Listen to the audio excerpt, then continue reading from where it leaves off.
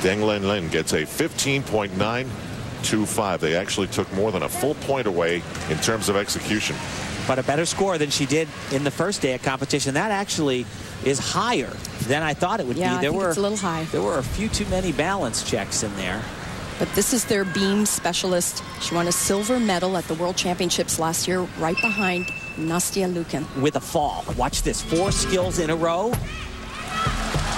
Crazy.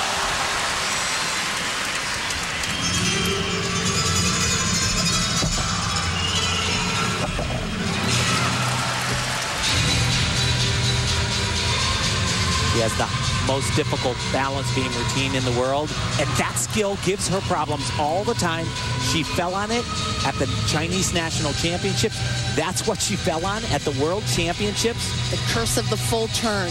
One of the easiest skills.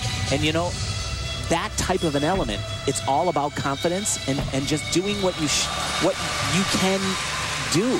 If you doubt yourself, you get a wobble like that.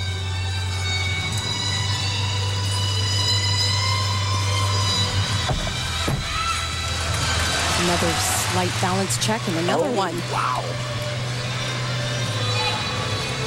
Really silly mistakes.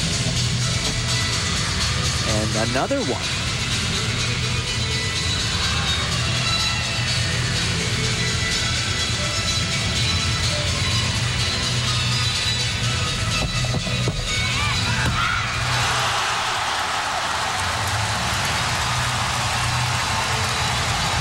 Many of those bobbles will the judges recognize? We'll get that score and look forward to the United States as the third rotation continues.